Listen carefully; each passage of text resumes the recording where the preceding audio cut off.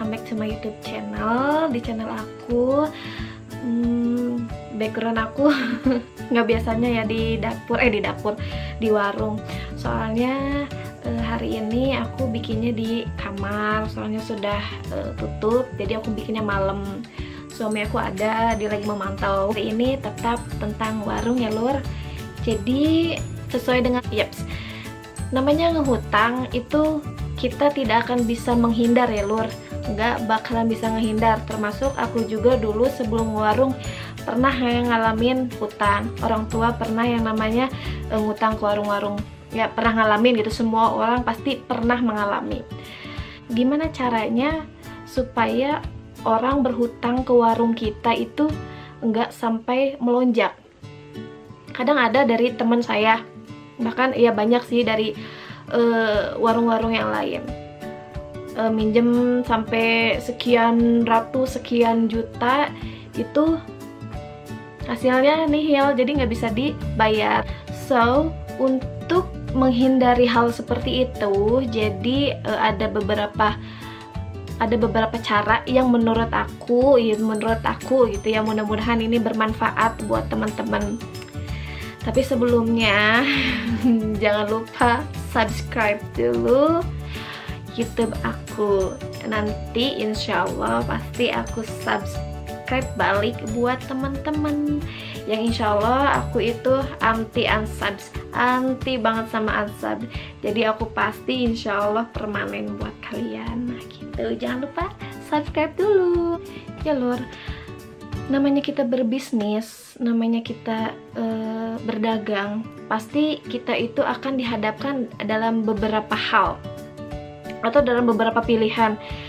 Contohnya misalkan mau cash atau hutang. Ya.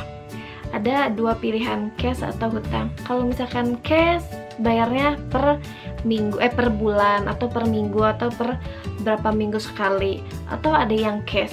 Nah, kalau misalkan kita berani berani tegas untuk misalkan kita berani ya kita berani meminjamkan misalkan kita warung terus kita tuh ah berani minjamin ke itu ya resikonya kita harus siap. Risikonya kita harus siap kalau kita berani. Tapi kalau misalkan enggak ya kita kasih peraturan kita kasih uh, perjanjian. Contohnya aku.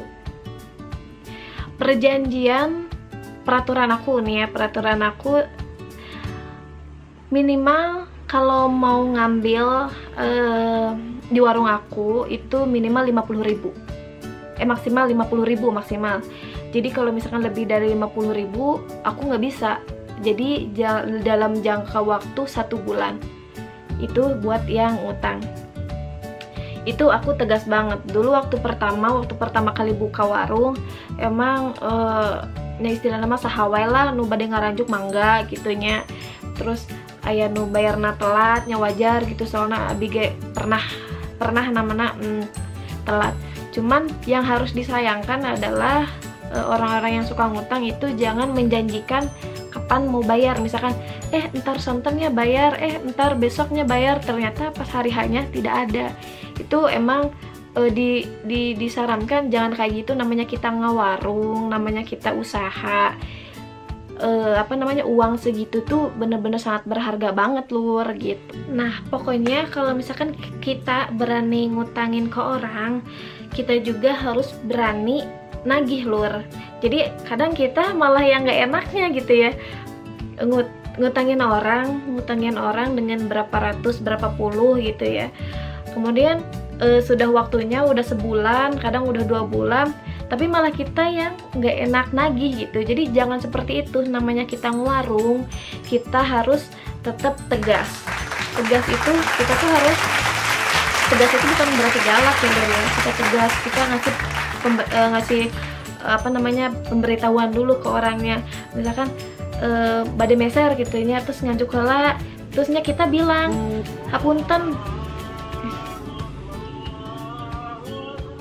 Allah Akbar pas Isa lur jadi kita bilang dulu kalau misalkan e, hapunten bu. Misalkan dalam jangka waktu 10 eh satu bulan gitu.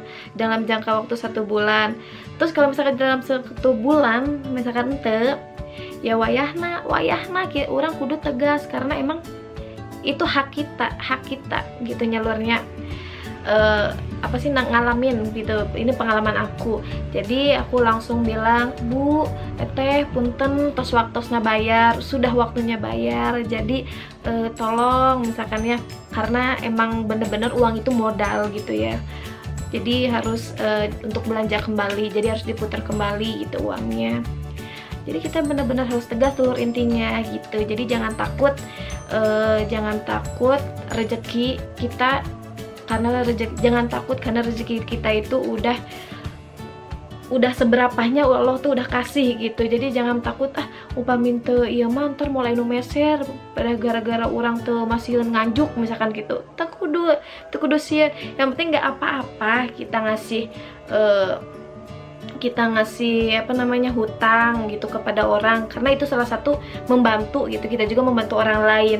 Tapi orang lain juga tetap harus ada kesadaran gitu. Kalau kalau kita juga butuh uang itu untuk dibelanjakan kembali gitu. Nah lur hmm, misalkan si pelanggan eh, misalkan si pelanggan itu kan masih berhutang. Tapi belum membayar tapi ingin berhutang kembali. Nah, bagaimana posisi kita? Bagaimana sikap kita?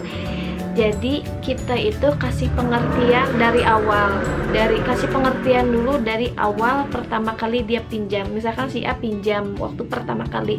Jadi kita tuh harus ngasih pengertian dulu bahwa kita itu memberikan pinjaman, eh memberikan eh, apa namanya nganjuk, memberikan pinjam kok nganjuk, memberikan eh, apa ngahutang di warung misalkannya gitu nggak apa-apa. Dengan maksimal dengan minimal eh maksimal eh, 50.000 misalkan atau 100.000 paling besar.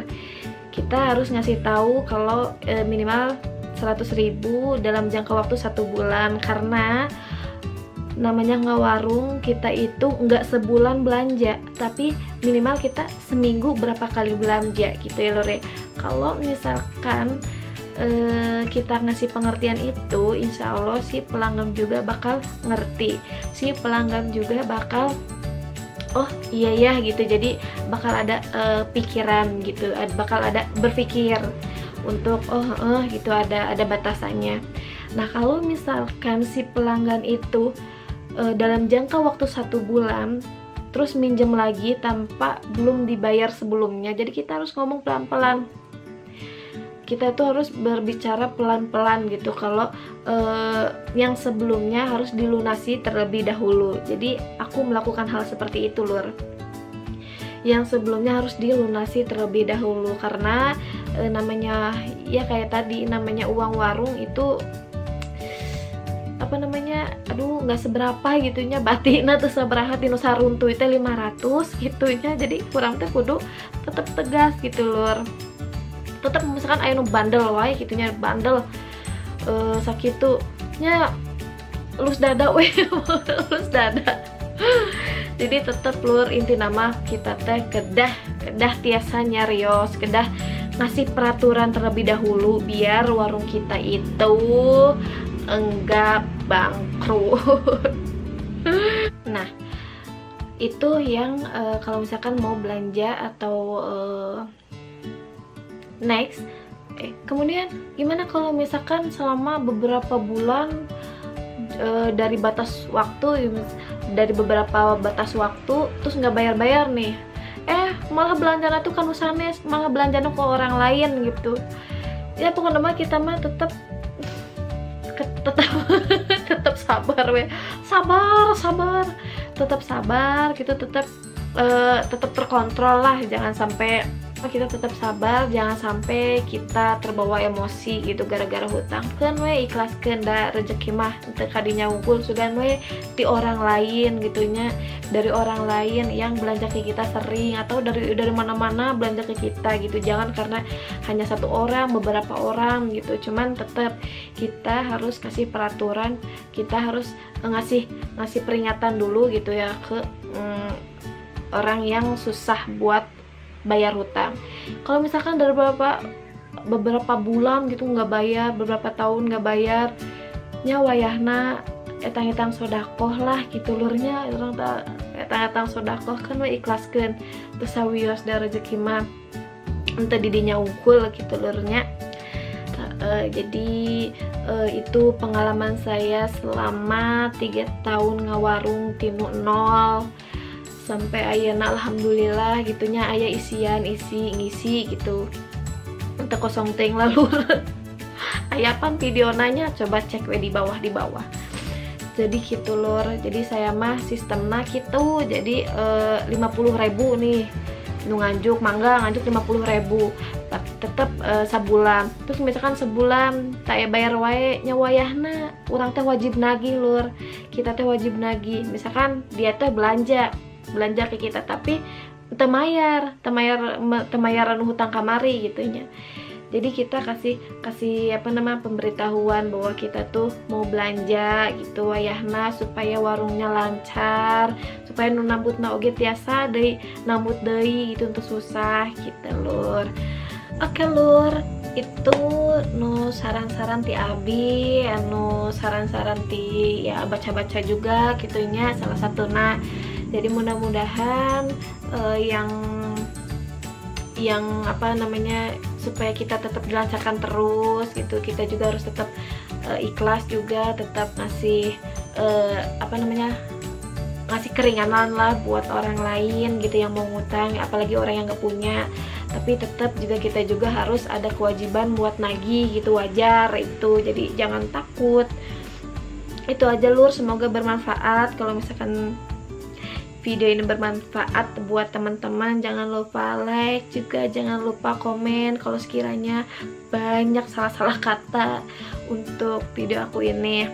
Juga mohon maaf kalau misalkan uh, apa kalimatnya nggak jelas. Mohon maaf banget ya karena emang ya lumayan capek dari pagi sekarang aku pengen ngasih info buat teman-teman aku buat teman-teman aku buat teman-teman subscriber aku. Terima kasih udah mau setia udah mau nonton. Hatur nuhun. Hmm, gitu aja lur.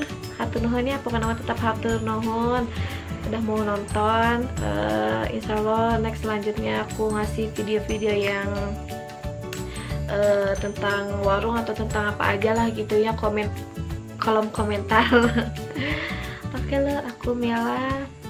Dah, assalamualaikum warahmatullahi wabarakatuh. Kita bertemu di video selanjutnya. Hatur nuhun. Dah.